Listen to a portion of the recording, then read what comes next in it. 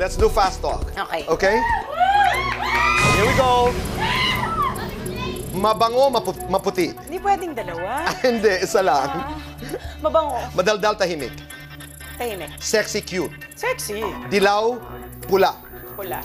Steak, salad. Steak. Puso, isipan. Puso. Crafting, cooking. Ah. Cooking. Big Bang, Super Junior.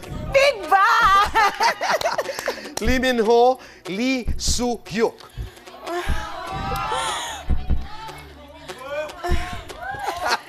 Lee Min Ho. True Love, World Peace.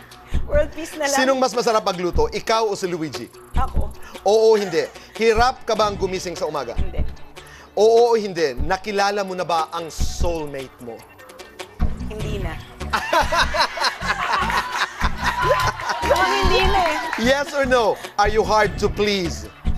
No. Sexiest piece of clothing you own? Um, a leather jacket.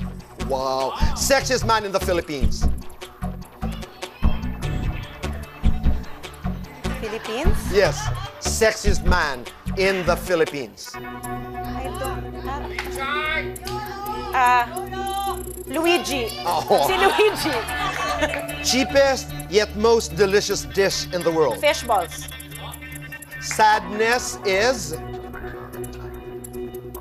Something to deal with. Happiness is? Being at peace with sadness. Wow, that's nice. Sino ang gusto mong haranahin ka ng Be My Lady? Si Lee Min Ho. Pagkain ihahain mo sa mga sumusunod, Erich and Dandan, Ah, cheese cupcakes. uh, Jelen Ariel, Jelly and Ariel. Ah, steak yan. Carmina Zoren, Carmina Soren. Shrimp. Mom and Dad, Mom and Dad Lechon. Charlene Aga, Charlene Aga. Mm, sinigang. Priscilla John,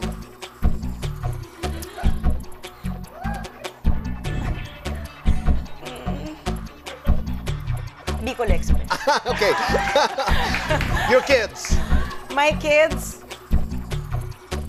pancakes. If you were to prepare your last meal in this world in your life, what would that be? Foie gras. I love foie gras. Talaga? I love foie gras. Oo, napakasarap. How do you cook it? Um, ano lang?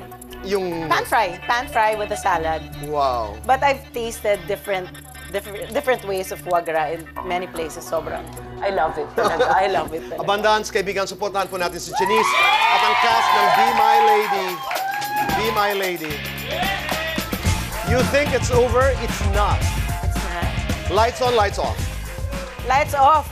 Sex or chocolates? Chocolates na lang. Best time to take a selfie. In Korea. Best time for sex. Not applicable.